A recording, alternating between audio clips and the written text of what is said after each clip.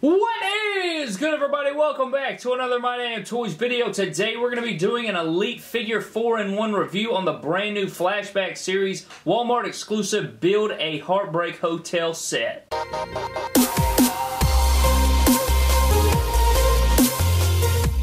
So before we get started, guys, I do want to give a huge shout out to Mattel for hooking us up with these figures and our brand new Shark Target exclusive Elite figure that we picked up in yesterday's video. A huge shout out to them, guys. They are absolutely fantastic for supplying these figures here for this review to make this possible. So again, huge shout out to the Elite Squad and Mattel for these amazing figures. These will be Walmart exclusive. I cannot wait till they hit retail. I'll probably pick up another Shawn Michaels or two uh, for some other custom figures. But uh, as you see the set right here, we have Razor Ramon, Shawn Michaels, Doink the Clown, and Alundra Blaze. My favorite probably being Shawn Michaels, uh, one of my favorite wrestlers of all time, so I get definitely got to like that one the most. And, you know, the Heartbreak Hotel is all about Shawn Michaels anyways, but uh, we have Razor Ramon here, and I love the Hawaiian shirt, and Doink, and Alundra Blaze. Probably my least favorites of the set, but we are going to crack all these guys open so that we can take a closer look, and we are going to build the Heartbreak Hotel set, and it's going to look great. We may even throw Edge and Lita in here for a little live sex celebration or something like that. I'm not even sure. But let's go ahead and crack them out of their packaging. Alright guys, here we have the full set out of the packaging. We got Razor Ramon looking fresh to death in his pants and his shirt. Of course, the sexy Shawn Michaels, Alundra Blaze, and Doink the Clown, all of their respective pieces. You got the left side of the bed with Razor Ramon. You have the curtains and the little Heartbreak Hotel sign with Shawn Michaels. You got the lamp that goes with Doink, and then the right side of the bed does come with Alundra Blaze. This set, you know, it isn't the greatest for, you know, current collectors. I mean, like, if you're a flashback collector, this is definitely a great set for you guys. I obviously was not alive for any of this. You know, I was born in 96, so, I mean, I was not around for any of this. I did not get to witness all of this live. I have, however, you know, gone back and watched and I do, you know, know about everything in the Heartbreak Hotel. Pretty much what it was, guys, is pretty much what the highlight reel is, and, you know, the uh, Miz TV, that's pretty much what it was. It was an interview segment with uh, Shawn Michaels, and he would set up the Heartbreak Hotel in the ring, and he would have special guests that he would conduct interviews with. It's just a further, uh, you know, carry storylines and stuff like that, and get some heat and stuff like that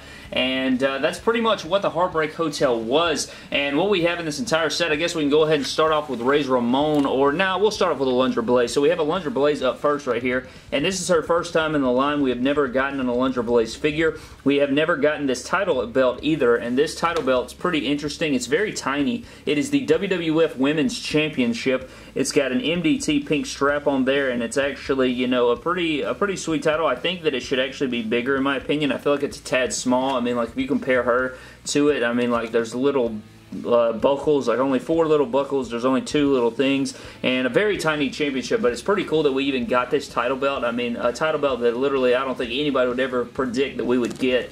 And here's her attire looking pretty nice. I like the head sculpt. I think it does favor Alundra Blaze. Uh, it's got a new little hairpiece on there. That looks great. I love the colors on this. And it's your typical women's figure. She does have the crappy arm articulation.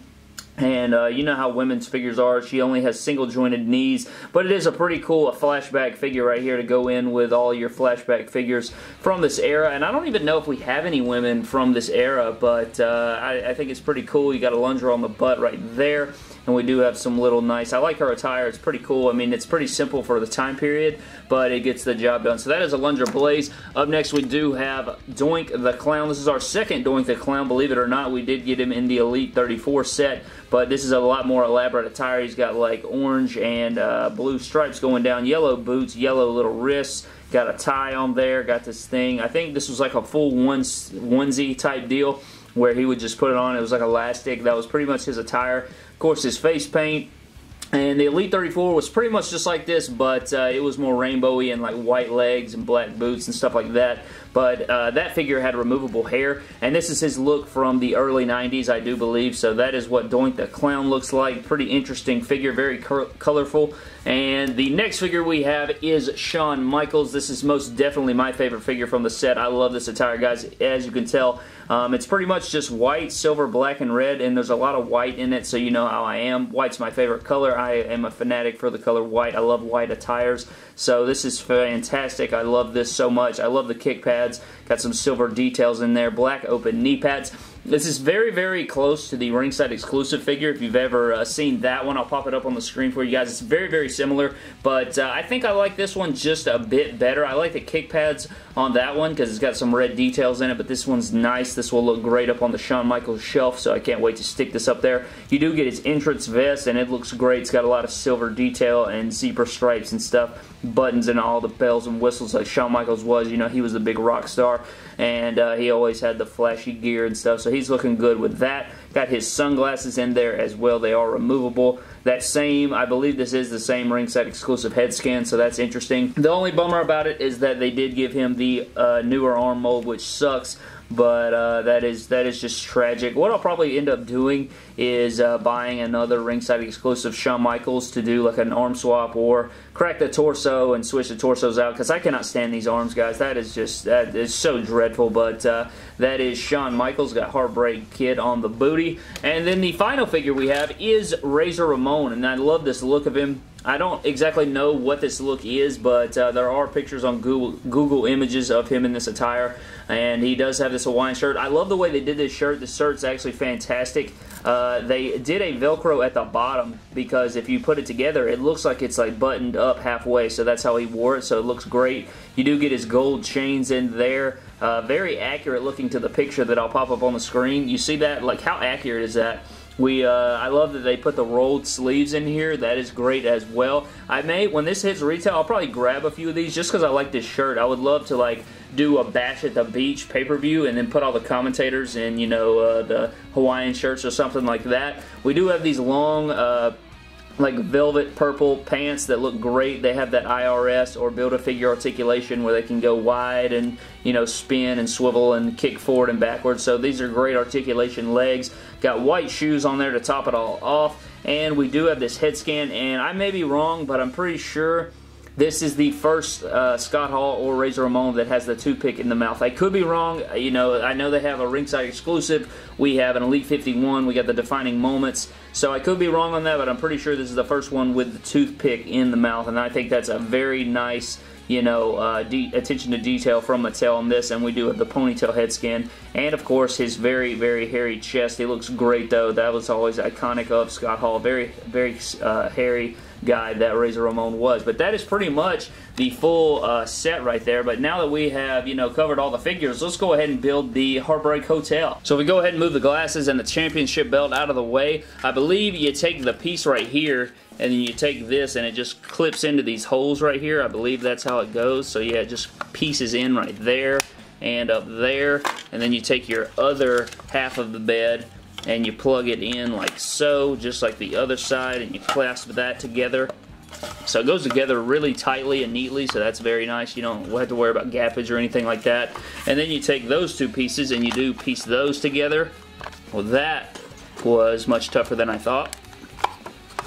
It is plastic though, you don't want to like force it too hard and then it end up breaking on you. So there you go. So it does go together very tightly, but do be careful when you're putting that thing together so it doesn't snap on you. But there is the bed or the cushion or whatever you want to call it. And then you take your lamp. That is nothing, but this is removable. You can pop that out if you'd like to, or you know, you're trying to destroy the Heartbreak Hotel. Um, and then you take these two pieces and uh, the uh, curtains right here. They have little knobs at the bottom. You just plug into the bottom here on that side and then on this side as well.